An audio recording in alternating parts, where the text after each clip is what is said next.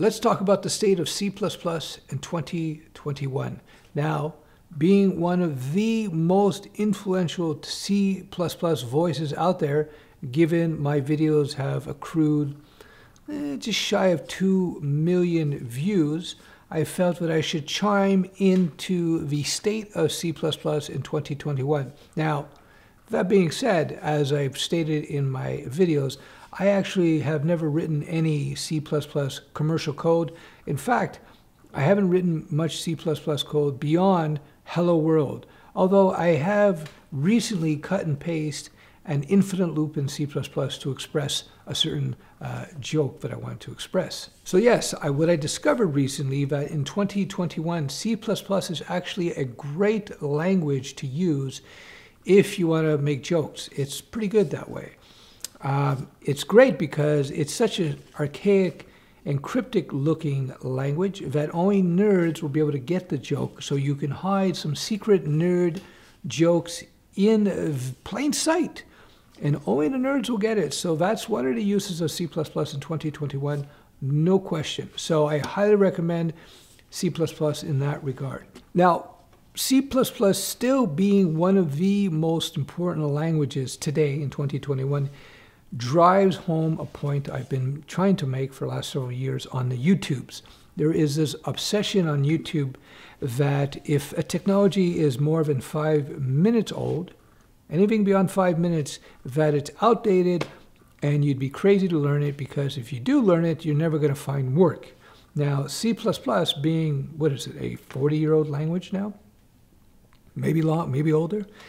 Um, it's still always in the top five, at least in the top 10. No, it's usually in the top five most used programming languages today. So, despite the fact that the young nerdlings across the web feel compelled to believe that older technologies, older than five minutes, are not to be used, um, C++ does prove that in 2021 that there's a little bit of a um, logical error in that assumption. Now, all joking aside, C++ is still widely used because when it comes to writing high performant software that uh, doesn't require a huge footprint to get uh, great power out of it, if you will, uh, runtime speed, then C++ is one of the kings of the game. Now, the problem with C++ is that power comes with a great cost, and that cost is that your runtime speed, the speed at which it runs when it's the speed at which C++ code will run, the cost of that speed is write time speed, the speed or the lack of speed of writing your C++ code. Essentially, to get something out in C++ is going to take much more work than to get something out in other uh, languages, higher level languages like a Java, like a Python, like a C Sharp, like a PHP, uh, etc. Now, this is not a criticism of C++.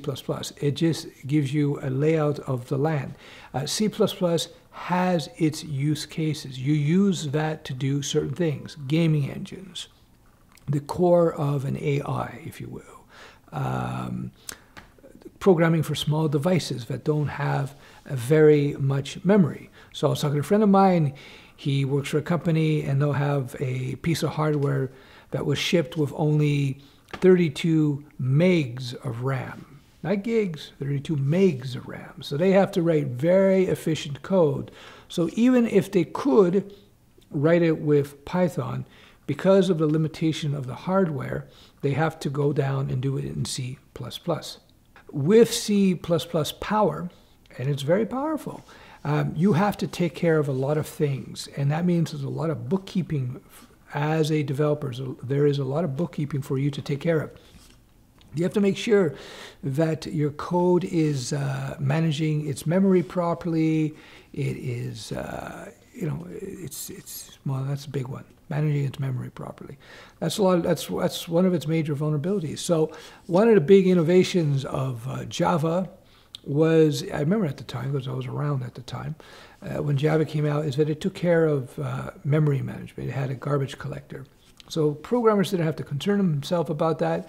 The cost of that, the cost of the automatic memory management, was that uh, there's overhead. So Java code doesn't run nearly as fast as C++ code most of the time, although I think some Java people, depending on uh, certain implementations, you may be able to find some pretty fast Java. But that being said, generally speaking, Java does not run nearly as fast, it has a much bigger footprint because it takes care of a lot of things for you, which makes it much more secure. So one of the arguments I've been making for the longest time is write time speed is more important than runtime speed most of the time. And the reason being is that CPUs and RAM and computers in general are just getting much more powerful. So the need for highly efficient code is uh, diminishing more and more over time. Again, that being said, again, C++ is still wildly popular and I don't see that changing anytime soon. So if you're learning C++ because you like that style of coding, then you are in a good position uh, in terms of job prospects or whatnot. So don't worry about it. Don't worry about it. And let me just close off this video with another uh, fallacy of, uh, I don't know if it's a fallacy. It's not a fallacy. It's a fallacy of programming, modern thinking, at least with a lot of the young nerdlings, is that you can choose a wrong language. There's no such thing. There is literally no such thing except for maybe Ruby or ActionScript. Just joking about Ruby. You don't want to do ActionScript because, you know, who's, who's grading ActionScript? But even if you learned ActionScript for some reason, ActionScript 3, uh, which is the language used to for the Flash runtime, which I think about three people use now. But even if you learn to code and program in ActionScript, that set of skills, that level of understanding, that comprehension of object-oriented paradigms and software development, 100% transfer to any other language. So let's say, we'll take a serious example now. I've been joking around a little bit in this video, so you have to decide which was me joking, what was truthful. But let's say, for example, this is truthful. You learn, we'll pick a language. You learn Java let's say you learn Java, that's what you were taught, and you write Java code for three or four years, whatever it is, and then all of a sudden Java, for some mysterious reason, disappears, which will probably never happen, not at least for another 20 years. And um, you have to do something new. But guess what? You know Java. Because you know Java, essentially you know 90% of C Sharp, C++, Python, JavaScript, Ruby, and so many other languages, PHP, etc., etc., etc the point I'm trying to make is that once you learn how to program, the language becomes an, a non-issue. When you become a more experienced developer, you will see, well, you see right away once you get in industry, you're going to be pivoting from framework to framework, from language to language, from library to library. I, in my career, I have written commercial software, been paid to or made money with code I've written using about, I forget the, I, have lost the exact count, but eight or nine languages, something like that. Java, C Sharp, VB, uh, JavaScript, PHP, et cetera, et cetera, et cetera, et cetera. So your career is going to be probably similar in that you're going to be learning multiple languages over time. So if you're going to take any way, anything away from this video, is that uh, first, uh, you should not code in Ruby. And second, that there is no bad language out there for you to choose. It's all very job specific. That's a huge thing. Well, here's one last point I want to point out. Number three, uh, and people watch my channel know this message well. If you look at the top 10 list, there's a whole bunch out there in terms of the top 10 most important languages this year, that year. It's always the same group pretty much are in the top 10. And of this group of top 10 languages, a lot of them are 25, 30 years old or more. Keep that in mind. So you're looking at the usual cast of coding characters, C Sharp, Java, JavaScript, PHP, Python. Um, what else is there? No, that's about it. You know, C++, C, there we go. Those are very consistently the languages at the top of the stack. Let's throw in coding languages. Those are all programming languages. Now let's just throw in coding languages. Then you look at SQL, which is like 30, 40 year old. I don't know how old it is. I think SQL was developed in what, the 70s? Um, HTML5, HTML rather, CSS. These are coding languages. They're not programming languages, but they're coding languages that are incredibly important. And HTML is like what, developed in 1993. CSS like uh, it became mainstream in 96, 97. You know, so again, what to take away is that if you are concerned, oh, am I going to learn the right language? There's no such thing. Anyway, that's it about C, C++. Uh, yeah, it's a very powerful language.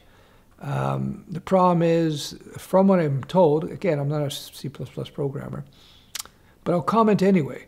Uh, from having discussions with real C++ programmers, not just YouTube C++ programmers,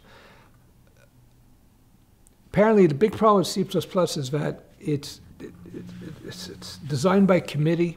Lots of committees are involved in that. Um, apparently, it's, it's a bit of a mess. I don't know. So I hear. That's the chatter. Anyway, whatever. If you learn C++, that's great, you know? And you don't find jobs there, which is probably not possible. You'll probably find all kinds of work. But if you decide you don't like that type of program, you can, you can go to something else. No big deal, because once you learn how to code, you're in a great position. So I'll answer this last question that I get all the time.